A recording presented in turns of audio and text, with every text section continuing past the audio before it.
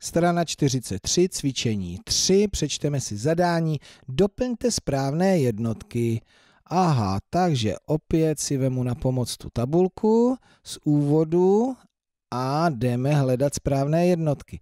41 cm, tak jsem u jednotek délky. A převádím na 410 čeho? No je jich víc, to znamená, že musí být menší, je jich víc desetkrát, přibyla tady nula. Takže centimetry a je jich víc desetkrát milimetry. Milimetry.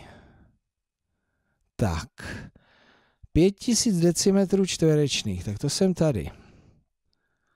A převádím na 50 a 50 jich je méně, to znamená, že těch jednotek, že ty jednotky musí být větší a musí být větší, protože nám ubyly tady dvě nuly stokrát, takže stokrát větší jsou metry čtverečné.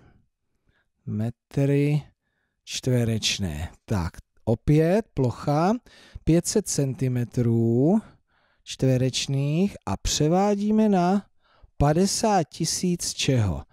Takže něco, co je, je toho víc, takže to je menší a 500 a o dvě nuly víc, takže je to stokrát menší, takže na milimetry čtverečné, jo? Milimetry čtverečné. 58 metrů, tak to jsem tady, ale pozor, 58 tisíc čeho? No, takže to máme tři nuly. Jedna nula, druhá nula, třetí nula. Desetkrát, stokrát, tisíckrát. Takže to jsou až milimetry, takže 58 metrů, že to je, tohle to musí být eh, daleko menší a ty milimetry jsou daleko menší. Rovná se 58 tisíc milimetrů, tak ale na tohle jsem opravdu zvědav. Hned se podívám. Mám to správně, výborně.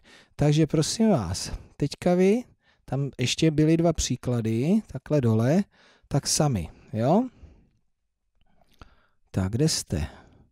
Na ploše.